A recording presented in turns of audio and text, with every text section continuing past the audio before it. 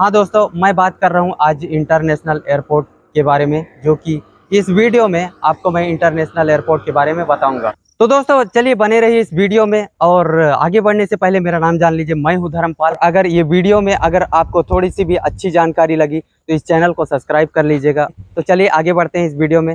तो बताते हैं यहाँ इस इंटरनेशनल एयरपोर्ट के बारे में, जो कि अभी तक बहुत सारे टाइम लगे। ये कोई छोटा घर नहीं था ये इंटरनेशनल एयरपोर्ट है जिसको बनने में आ, हमें थोड़ा इंतज़ार करना पड़ा पर लगभग लगभग अभी बहुत सारे काम हो चुके हैं। दोस्तों जब इस कार्य को शुरुआत किए थे तो यहाँ पे बहुत सारी चीज़ें थी जिनको आ, बहुत सा बहुत जगह शिफ्ट करना था। तो दोस्तों सबसे पहले तो आपको ये बताना चाहूँगा कि इस जगह को क्लीन करना और इस जगह को आ, मतलब लेबल करना मुनासिब नहीं था पर इत, मतलब इतना जल्दी नहीं हो, हो हो सकता था। पर धीरे धीरे धीरे धीरे करके इसको लेबल कर ही दिया गया।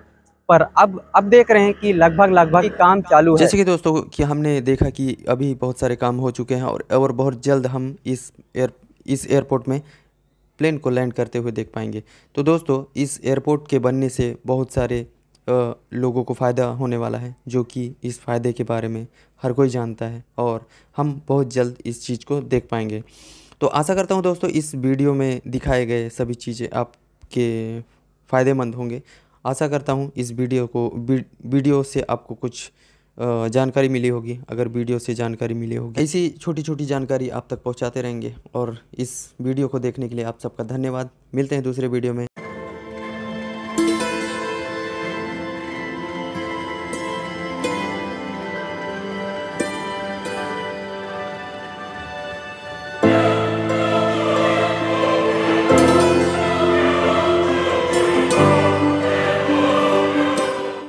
तो आशा करते हैं दोस्तों हमारे वीडियो से आपको कुछ जानकारी मिला होगा। और जानकारी मिला होगा तो इस चैनल को सब्सक्राइब कर लीजिएगा। और साथ में बेल आइकन के घंटा दबा दीजिएगा ताकि हमारे आने वाले वीडियो आप तक पहुंचेगा सबसे पहले। और साथ में एक छोटा सा लाइक कर दीजिएगा। तो चलिए मिलते हैं दूसरे वीडियो में।